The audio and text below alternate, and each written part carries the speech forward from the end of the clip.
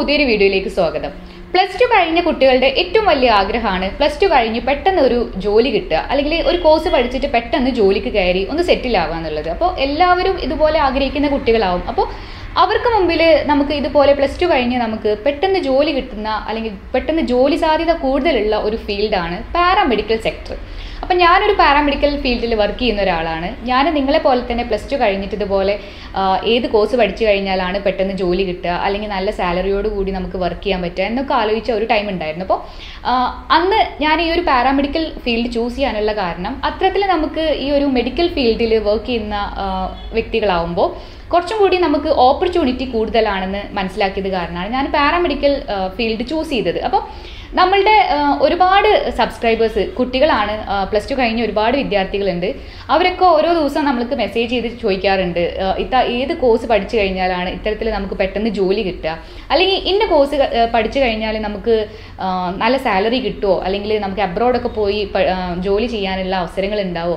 ഇങ്ങനെയുള്ളൊക്കെ ഒരുപാട് ക്വസ്റ്റ്യൻസ് നമ്മൾ ഡെയിലി ഞാൻ കേൾക്കുന്നുണ്ട്. അപ്പോൾ നമ്മളുടെ സബ്സ്ക്രൈബേഴ്സിന്റെ ഒരു റിക്വസ്റ്റഡ് വീഡിയോ ആണിത്. നമുക്ക് ഏറ്റവും കൂടുതൽ ഈ പാരാമെഡിക്കൽ ഫീൽഡിൽ ജോലി സാധ്യത ഉള്ള കുറച്ച് കോഴ്സുകളാണ് ഞാൻ ഇന്ന് പറയാൻ പോകുന്നത്. അപ്പോൾ പ്ലസ് ടു കഴിഞ്ഞ കുട്ടികളാണെങ്കിൽ നിങ്ങളിപ്പോൾ ഒരുപാട് പാരാമെഡിക്കൽ ഫീൽഡിനെ കുറിച്ചിട്ട് അന്വേഷിക്കുന്നുണ്ടാവും. അല്ലെങ്കിൽ അതിനെ കുറിച്ചിട്ടുള്ള വീഡിയോസ് കാണുന്നുണ്ടാവും അല്ലേ? അപ്പോൾ ഇവർക്ക് എല്ലാവർക്കും അറിയേണ്ടത് ഏത് കോഴ്സ് എടുത്തു കഴിഞ്ഞാലാണ് നമുക്ക് പെട്ടെന്ന് ജോലി കിട്ടുക. എല്ലാവർക്കും അറിയേണ്ടത് ആ ഒരു കാര്യമാണ്. അപ്പോൾ ഇന്ന് ഞാൻ അത്തരത്തിലുള്ള കുറച്ച് കോഴ്സുകളെ കുറിച്ചിട്ടുള്ള ഡീറ്റെയിൽസ് ആണ് പറയാൻ പോകുന്നത്. അപ്പോൾ എല്ലാവരും സ്കിപ്പ് ചെയ്യാതെ മുഴുവനായിട്ടും വീഡിയോ കാണാൻ ശ്രമിക്കുക. നിങ്ങൾക്ക് ഒരുപാട് ഉപകാരപ്പെടുന്ന ഒരു വീഡിയോ ആണ്. സോ വീഡിയോയിലേക്ക് പോകുന്നതിന് മുന്നേ കുറച്ച് കാര്യങ്ങൾ കോമൺ ആയിട്ടുള്ള കുറച്ച് കാര്യങ്ങൾ നിങ്ങളെടുത്ത് പറയാനുണ്ട്. പ്ലസ് ടുയിൽ ബയോളജി സയൻസ് പഠിച്ച കുട്ടികൾക്കാണ് കേരളത്തിൽ അല്ലെങ്കിൽ കേരളത്തിന് പുറത്താണെങ്കിലും ഡിഗ്രി ഡിഗ്രി കോഴ്സ് ഇപ്പോൾ പാരാമെഡിക്കൽ ഡിഗ്രി കോഴ്സുകൾക്ക് എലിജിബിൾ ആയിട്ട് പറയുന്നത് ബയോളജി സയൻസ് പഠിച്ച കുട്ടികൾക്കാണ്. ഇപ്പോൾ ബയോളജി ഫിസിക്സ് കെമിസ്ട്രി സബ്ജക്റ്റ് എടുത്ത കുട്ടികൾക്കാണ് പാരാമെഡിക്കൽ പഠിക്കാനുള്ള യോഗ്യത. അപ്പോൾ ഡിപ്ലോമ കോഴ്സുകളൊക്കെ ഉണ്ട്. ചില ഡിപ്ലോമ കോഴ്സസ് ഇതുപോലെ നമ്മൾ കേരളത്തിലും കേരളത്തിന് പുറത്തൊക്കെ സയൻസ് ഗ്രൂപ്പ് വേണം നിർബന്ധമില്ല. നിർബന്ധമില്ലാത്ത മീൻസ് ഹ്യൂമാനിറ്റീസ് പഠിച്ച കുട്ടികൾക്കും കൊമേഴ്സ് പഠിച്ച കുട്ടികൾക്കൊക്കെ ഡിപ്ലോമ പ്രോഗ്രാംസും എടുക്കാം. അപ്പോൾ നിങ്ങൾക്ക് ഞാൻ മുന്നത്തെ വീഡിയോയിൽ തന്നെ പറഞ്ഞിട്ടുണ്ട് ഡിപ്ലോമയും ഡിഗ്രിയും തമ്മിലുള്ള വ്യത്യാസം എന്താണ്. ഡിപ്ലോമ പ്രോഗ്രാംസ് എന്ന് പറയുന്നത് രണ്ട് വർഷം അല്ലെങ്കിൽ മാക്സിമം രണ്ടര വർഷമൊക്കെ ഡ്യൂറേഷൻ വരുന്ന കോഴ്സുകളാണ്. ഡിഗ്രി പ്രോഗ്രാംസ് എന്ന് പറയുന്നത് ഇറ്റ്സ് എ ബാച്ചിലർ ഡിഗ്രി നാല് വർഷം അല്ലെങ്കിൽ നാല് വർഷം കൂടുതൽ വരുന്ന കോഴ്സുകളാണ്. അപ്പോൾ എന്നോട് പേഴ്സണലി ഡിപ്ലോമയാണോ ഡിഗ്രി ആണോ നല്ലതെന്ന് ചോദിക്കുമ്പോൾ ഞാൻ കുട്ടികളുടെ അടുത്ത് പറയുന്നത് നിങ്ങൾ ഡിഗ്രി എടുക്കാനാണ് നിങ്ങൾ മീൻസ് ആഗ്രഹിക്കുന്നുണ്ടെങ്കിൽ ജസ്റ്റ് യു ടേക്ക് ഡിഗ്രി അതായത് ഡിഗ്രി കോഴ്സ് എടുത്തു കഴിഞ്ഞാൽ ബാച്ചിലർ ഡിഗ്രി എടുത്തു കഴിഞ്ഞാൽ നിങ്ങൾക്കിപ്പോൾ ഹയർ ഓപ്ഷൻസ് ഉണ്ട്. അതേപോലെ തന്നെ പുറത്തൊക്കെ അബ്രോഡൊക്കെ വർക്ക് ചെയ്യാൻ ആഗ്രഹിക്കുന്ന കുട്ടികളാണെങ്കിൽ ഡിഗ്രി കോഴ്സ് പഠിച്ച കുട്ടികൾക്കാണ് ഒന്നുകൂടി വാല്യൂ ഉണ്ടാവും അപ്പോൾ എപ്പോഴും നിങ്ങൾ ഹയർ ഓപ്ഷൻസ് ചിന്തിക്കുക. എപ്പോഴും നിങ്ങൾ ഡിഗ്രി കോഴ്സ് എടുക്കാൻ ആഗ്രഹിക്കുക. അപ്പോൾ ചില കുട്ടികൾക്കൊക്കെ ചിലപ്പോൾ എന്തെങ്കിലും ഇതുപോലെ എക്സ്പെൻസ് കാര്യങ്ങളൊക്കെ ആലോചിച്ചിട്ട് അല്ലെങ്കിൽ വേറെ ഏതെങ്കിലും ഡിഗ്രി കോഴ്സുകൾ പഠിച്ചിട്ട് ഒരു ഡിപ്ലോമ ചെയ്യണം. അങ്ങനെയൊക്കെ ആഗ്രഹിക്കുന്ന കുട്ടികളാണെങ്കിൽ ഏറ്റവും ബെറ്റർ ഡിപ്ലോമ എടുക്കുന്നതാണ്. അപ്പോൾ ഇതാണ് ഡിഗ്രിയും ഡിപ്ലോമയും തമ്മിലുള്ള മെയിൻ ആയിട്ടുള്ള ഡിഫറൻസ് പറയുന്നത്. അപ്പോൾ പാരാമെഡിക്കൽ ഫീൽഡിൽ ഇപ്പോൾ ഒരു കോഴ്സ് എടുത്തു കഴിഞ്ഞാൽ നിങ്ങൾക്ക് രണ്ട് ഓപ്ഷൻസ് ഉണ്ട്. ഒന്നുകിൽ ഡിപ്ലോമ പ്രോഗ്രാംസ് പഠിക്കുക രണ്ട് വർഷത്തെ കുറഞ്ഞ ഡ്യൂറേഷൻ വരുന്ന ഡിപ്ലോമ പ്രോഗ്രാംസ് എടുക്കുക. ഇല്ലെങ്കിൽ ഇതുപോലെ bachelor degree four years four and half years ഒക്കെ വരുന്ന ബാച്ചിലർ ഡിഗ്രി ചെയ്യാം അപ്പോൾ ഇനി നമ്മൾ നമ്മുടെ സബ്ജക്റ്റിലേക്ക് വരാം. അപ്പോൾ ഏറ്റവും കൂടുതൽ ജോലി സാധ്യതയുള്ള കുറച്ച് കോഴ്സുകളാണ് എല്ലാ കോഴ്സിനും അതിന്റേതായിട്ടുള്ള വാല്യൂ ഉണ്ട്.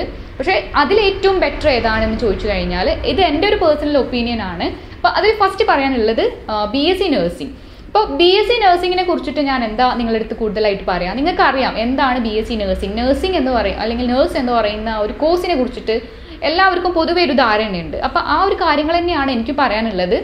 ഡിപ്ലോമ ആയിട്ടും അതേപോലെ തന്നെ നിങ്ങൾക്ക് ഡിഗ്രി ആയിട്ടും B S C nursing means nursing course നിങ്ങൾക്ക് ചെയ്യാം. അപ്പോൾ ഏറ്റവും ബെറ്റർ ഏതാണെന്ന് ചോദിച്ചു കഴിഞ്ഞാൽ ഓഫ് കോഴ്സ് ഡിഗ്രി ചെയ്യുന്നതാണ് നല്ലത്. അപ്പോൾ പിന്നെ നഴ്സിംഗിന്റെ ഒരു കാര്യം പറഞ്ഞു കഴിഞ്ഞാൽ നിങ്ങളൊരു ക്ലിനിക്ക് അല്ലെങ്കിൽ ഒരു ഹോസ്പിറ്റൽ സങ്കല്പിക്കുക. അപ്പോൾ ഒരു ഡോക്ടർ കഴിഞ്ഞാൽ ഏറ്റവും കൂടുതൽ നിങ്ങൾ കാണുന്ന വ്യക്തികൾ ഓഫ് കോഴ്സ് നേഴ്സസ് ആണ്. അല്ലെങ്കിൽ നഴ്സിംഗ് സ്റ്റാഫാണ് അപ്പോൾ പലരും നഴ്സിംഗ് കോഴ്സ് എടുക്കാൻ മടിക്കുന്നത് കേരളത്തിൽ പൊതുവെ എല്ലാ പാരാമെ മീൻസ് നേഴ്സ് എന്ന് മാത്രമല്ല എല്ലാ പാരാമെഡിക്കൽ കോഴ്സിനും നമ്മൾ കേരളത്തിൽ എടുത്ത് നോക്കിക്കഴിഞ്ഞാൽ സാലറി ബേസിക് കുറവാണ്. പക്ഷേ അബ്രോഡാണ് ഏറ്റവും കൂടുതൽ ജോലി മീൻസ് ഏറ്റവും കൂടുതൽ സാധ്യത ഉള്ളത് അപ്പോൾ ബി എസ് സി നഴ്സിങ്ങിന്റെ കാര്യം എടുത്ത് നോക്കിക്കഴിഞ്ഞാലും തന്നെയാണ് അവസ്ഥ. നമുക്ക് കേരളത്തിൽ പൊതുവെ സാലറി കുറവാണ്. സാലറി കുറവ് പറഞ്ഞാൽ ഒരു ഫിഫ്റ്റീൻ ട്വന്റി അല്ലെങ്കിൽ ട്വന്റി ഫൈവ് ആ ഒരു ആവറേജിലൊക്കെയാണ് സാലറി നിങ്ങൾ പ്രതീക്ഷിക്കേണ്ടത്. അപ്പോൾ തുടക്കക്കാരെ കുറിച്ചിട്ടാണ് പറയുന്നത്. ഇതിലും ഹൈ സാലറി വാങ്ങുന്ന ഒരുപാട് ആളുകൾ ഉണ്ടാവും കേട്ടോ.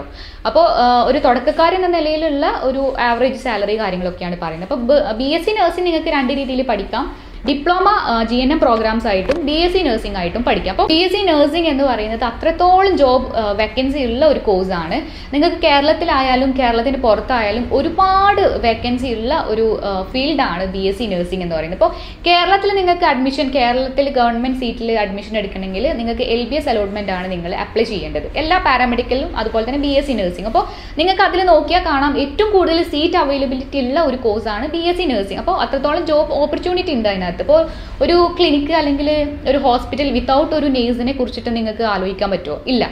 അപ്പോൾ അത്രത്തോളം നമുക്കിപ്പോൾ നമ്മളുടെ ഒരു ഏരിയയിൽ എത്ര ക്ലിനിക്ക് വരുന്നുണ്ട്? അല്ലെങ്കിൽ എത്ര ഹോസ്പിറ്റൽസ് വരുന്നുണ്ട്. അപ്പോൾ അവിടെയൊക്കെ നിങ്ങൾക്ക് ജോബ് ഓപ്പർച്യൂണിറ്റി ഉണ്ട്. അപ്പോൾ ഫസ്റ്റ് ആയിട്ട് എനിക്ക് പറയാനുള്ളത് ബി എസ് സി നഴ്സിംഗ് ആണ് ഏറ്റവും കൂടുതൽ ജോബ് ഓപ്പർച്യൂണിറ്റി ഉള്ള medical field so B S C nursing കഴിഞ്ഞാൽ ഏറ്റവും കൂടുതൽ പിന്നീട് ഓപ്പർച്യൂണിറ്റി ഉള്ള ജോബ് ഓപ്പർച്യൂണിറ്റി ഉള്ള ഒരു കോഴ്സാണ് B pharm bachelor of pharmacy അപ്പോൾ നമ്മൾ പാരാമെഡിക്കൽ കേരളത്തിൽ എൽ ബി എസിന്റെ അണ്ടറിലായിരുന്നു ബി ഫാമിന്റെ അഡ്മിഷൻസും കാര്യങ്ങളൊക്കെ. പക്ഷേ കഴിഞ്ഞ വർഷം മുതൽ ബി ഫാമിന് നീറ്റ് നീറ്റ് എൻട്രൻസ് എക്സാം നിർബന്ധമാണ്. ഇപ്പോൾ കേരളത്തിൽ കീം അല്ലെങ്കിൽ നീറ്റ് എക്സാം നിങ്ങൾ എഴുതിയിരിക്കണം. എന്നാലാണ് നിങ്ങൾക്ക് ബി ഫാമിനുള്ള അഡ്മിഷൻസ് കിട്ടുക. അപ്പോൾ ബി ഫാമിന്റെ കാര്യം ഇങ്ങനെയാണ് പറയാനുള്ളത്. പാരാമെഡിക്കൽ സെക്ടറിൽ തന്നെ ഏറ്റവും ബി എസ് സി നഴ്സിംഗ് കഴിഞ്ഞാൽ ഏറ്റവും കൂടുതൽ ജോബ് ഓപ്പർച്യൂണിറ്റി ഉള്ള ഒരു കോഴ്സാണ് ബി ഫാം എന്ന് പറയുമ്പോൾ ബി ഫാം ജസ്റ്റ് ഒരു മരുന്ന് എടുത്ത് കൊടുക്കുക എന്നുള്ള ഒരു നിസാരമായിട്ട് നിങ്ങൾ കാണരുത്. ഒരുപാട് ജോബ് ഓപ്പർച്യൂണിറ്റി വരുന്ന ഒരു കോഴ്സാണ് ബി ഫാം. ഇപ്പോൾ മെഡിക്കൽ ഇപ്പം നിങ്ങൾക്ക് മെഡിക്കൽ മാനുഫാക്ചറിങ് യൂണിറ്റ്സിലൊക്കെ വർക്ക് ചെയ്യണം. അല്ലെങ്കിൽ ഇതിന്റെ ഹയർ സ്റ്റഡീസ് ഉണ്ട്. അതായത് ഡോക്ടർ ഓഫ് ഫാർമസി അതൊരു അല്ലെങ്കിൽ ഒരു സയന്റിഫിക് ലെവൽ ഇപ്പോൾ ഒരു മരുന്ന് കണ്ടുപിടിക്കുന്ന കാര്യമായാലും ഇതിലൊരു ഫാർമസിസ്റ്റിന്റെ റോൾ വളരെ വലുതാണ്. അപ്പോൾ അങ്ങനെയൊക്കെയുള്ള ഒരു കാര്യങ്ങളൊക്കെ വരുന്ന അല്ലെങ്കിൽ അങ്ങനെയൊക്കെ പഠിക്കാൻ ആഗ്രഹിക്കുന്ന കുട്ടികൾക്ക് ഏറ്റവും നല്ല ഒരു കോഴ്സാണ് ബി ഫാം അപ്പോൾ അതിൽ ബി ഫാമിൽ ഏറ്റവും കൂടുതൽ വരുന്ന സബ്ജക്റ്റ് കെമിസ്ട്രിയാണ് അപ്പോൾ കെമിസ്ട്രി ഒക്കെ പഠിക്കാൻ ആഗ്രഹിക്കുന്ന കുട്ടികൾക്ക് തീർച്ചയായിട്ടും എടുക്കാൻ പറ്റുന്ന ഒരു പാരാമെഡിക്കൽ കോഴ്സാണ് ബി ഫാം എന്ന് പറയുന്നത്. ഓക്കെ സോ പിന്നീട് ഏറ്റവും കൂടുതൽ ഇതുപോലെ ജോലി സാധ്യതയുള്ള ഒരു മേഖലയാണ് B S C M L T medical lab technician അപ്പോൾ ഒരു രോഗനിർണയത്തിൽ ഏറ്റവും കൂടുതൽ ഡോക്ടറെ കഴിഞ്ഞാൽ പിന്നെ ഡോക്ടറെ ഡിപ്പെൻഡ് ചെയ്യുന്ന പ്രൊഫഷണൽസ് ആണ് മെഡിക്കൽ ലാബ് ടെക്നീഷ്യന്മാർ നിങ്ങൾക്കറിയാം ഒരു പനി വന്നു കഴിഞ്ഞാൽ ആ ഒരു പനി എന്ത് മൂലമാണ് ഉണ്ടാവുന്നത്? അല്ലെങ്കിൽ ഒരു ബാക്ടീരിയൽ അല്ലെങ്കിൽ ഒരു വൈറൽ ഫീവർ ആണോ എന്നൊക്കെ അറിയാൻ വേണ്ടിയിട്ട് നമ്മൾ ബ്ലഡ് സാമ്പിളും കാര്യങ്ങളൊക്കെ എടുക്കുന്നത്. അപ്പോൾ അത്രയും കണ്ണിങ് ആണ്. നമ്മൾ ആ ഒരു ലാബ് റിപ്പോർട്ടിനെ ബേസ് ചെയ്തിട്ടാണ് പിന്നീട് ആ ഒരു പേഷ്യന്റിനുള്ള ട്രീറ്റ്മെന്റ് കാര്യങ്ങളൊക്കെ നമ്മൾ നിർദ്ദേശിക്കുന്നത്. അപ്പോൾ ഒരു രോഗനിർണയത്തിൽ അല്ലെങ്കിൽ ഒരു ഡിസീസ് ഡയഗ്നോസിസിന്റെ ഏറ്റവും ഫസ്റ്റ് പ്രൈമറി ആയിട്ട് ഹെൽപ്പ് ചെയ്യുന്ന ആളുകളാണ് ലാബ് ടെക്നീഷ്യന്മാർ അപ്പോൾ ഏറ്റവും കൂടുതൽ നിങ്ങൾക്ക് അറിയാം ഈ ഇവ രണ്ടും കഴിഞ്ഞാൽ പിന്നെ ഏറ്റവും കൂടുതൽ ജോലി സാധ്യതയുള്ളത് തീർച്ചയായിട്ടും എം എൽ ടിക്കാണ് സോ മെഡിക്കൽ ലാബ് ടെക്നീഷ്യനെ കുറിച്ചിട്ട് കംപ്ലീറ്റ് വീഡിയോ നമ്മൾ ചെയ്തതാണ്. മുമ്പ് വീഡിയോ ചെയ്തിട്ടുണ്ട്. അതുകൊണ്ട് തന്നെ ഞാൻ ഇതിനെ കുറിച്ചിട്ട് കൂടുതലായിട്ട് പറയുന്നില്ല.